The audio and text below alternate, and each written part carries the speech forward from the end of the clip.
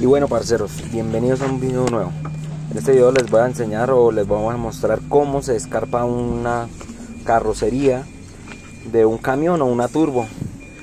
Bueno pues como lo pueden ver, la carrocería de la NPR Plus tiene carpa IKL, es una carpa que la verdad es un poco dura. Entonces pues está con el nudo que se llama el triplete o el nudo venezolano. ya en otro video se los enseñaré cómo hacerlo. Bueno, el primer paso para empezar a descarpar una carrocería es empezar a soltar los lazos de la esquina de atrás. Empieza eh, gancho por gancho y pues como este carro tiene por debajo las cintas reflectivas es un poco más complejo pues de hacer eh, quitar el nudo porque a veces se enreda, se enganchan los otros tornillos y es un poco complicado. Bueno, ustedes se preguntarán por qué voy a quitar la carpa o por qué eh, se le está haciendo este procedimiento de, descarte. En esta, en esta ocasión no vamos a cargar nada, sino como lo pueden ver en la imagen, eh, con un palo, como esta turbo es tan alta, eh, rompí la carpa en una esquina y pues la única manera de arreglarla es bajándola para que la puedan vulcanizar, la puedan colocar bien otra vez seguido de esto eh, ya casi terminamos de soltar las manilas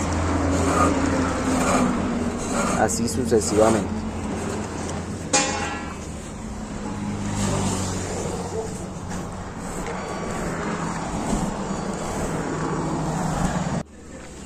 Bueno como lo pueden ver eh, adentro hay otro muchacho que está soltándole las correas de cada varilla para que la carpa pueda soltarse toda.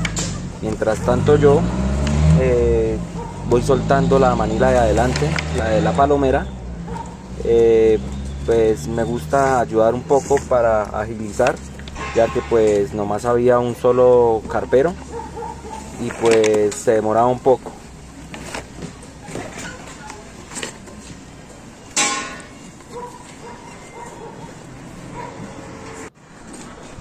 Listos, ya como lo podemos ver, se soltó la manila completa y la carpa ya quedó totalmente liberada. Las aletas de adelante, las aletas, las mm, correas, las correas de doblar la carpa también tienen que soltarse. Acá como lo podemos ver, eh, la carpa está ya totalmente suelta de todas las esquinas, de todo lado. Ya lo que procede es cogerla de la parte de abajo otra vez vemos ahí donde está el daño. Ya la agarramos de las esquinas y procedemos a levantarla de la siguiente manera.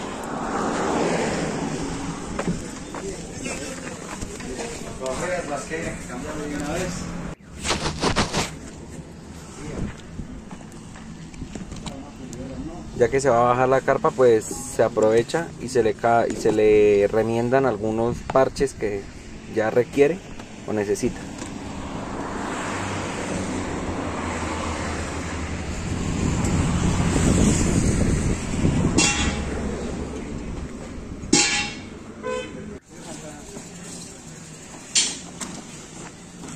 Las correas toca cambiarlas, yo no sé.